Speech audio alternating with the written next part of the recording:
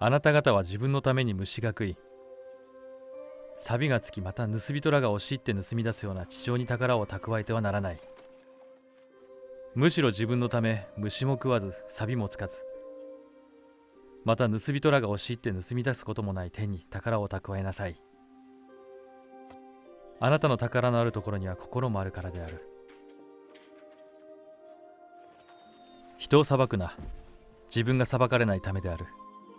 あなた方が裁くその裁きで自分も裁かれあなた方の測るその測りで自分も測られるであろう。なぜ兄弟の目にある塵を見ながら自分の目にある針を認めないのか。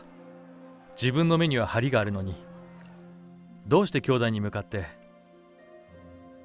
あなたの目から塵を取らせてくださいと言えようか。偽善者よ。まず自分の目から針を取り抜けるがよい。そうすればはっきり。見えるようになって兄弟の目から塵を取り抜けることができるだろう。求めよう。そうすれば与えられるであろう。探せ。そうすれば見いだすであろう。門を叩け。そうすれば開けてもらえるであろう。すべて求めるものは得探すものは見出し。門を叩く者を開けてもらえるからである。あなた方のうちで自分の子がパンを求めるのに石を与えるものがあろうか魚を求めるのに蛇を与えるものがあろうか。このようにあなた方は悪いものであっても自分の子供には良い贈り物をすることを知っているとすれば天にいますあなた方の父はなおさら求めてくる者に良いものをくださらないことがあろうか。だから何事でも人々からしてほしいと望むことは人々にもその通りにせよ。これが立法であり預言者である。狭い門から入れ滅びに至る門は大きくその道は広い。そしてそこから入っていく者が多い。命に至る門は狭くその道は細い。そしてそれを見いだす者が少ない。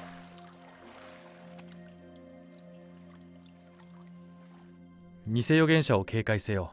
彼らは羊の衣を着てあなた方のところに来るがその内側は強欲な狼である。その身によって彼らを見分けられる。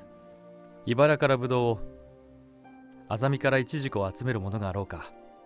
良い木が悪い実を鳴らせることはないし悪い木が良い実を鳴らせることはできない。良い実を結ばない木はことごとく切られて火の中に投げ込まれる。このようにあなた方はその身によって彼らを見分けるのである。私に向かって主よ主よという者が皆天国に入るのではなくただ天にいます。我が父の身旨を行う者だけが入るのである。その日には多くの者が言うであろう。主よ私たちはあなたの名によって予言したではありませんか。あなたの名によって悪霊を追い出しあなたの名によって多くの力ある技を行ったではありませんか。その時私は彼らにはっきり来いよあなた方を全く知らない。不法を働く者どもよ言ってしまえ。それで私のこれらの言葉を聞いて行うものを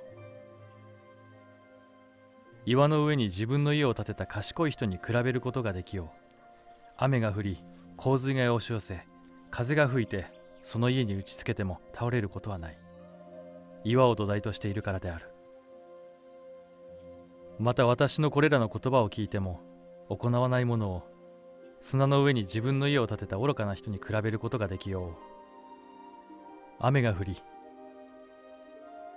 洪水が押し寄せ風が吹いてその家に打ちつけると倒れてしまう。そしてその倒れ方はひどいのである。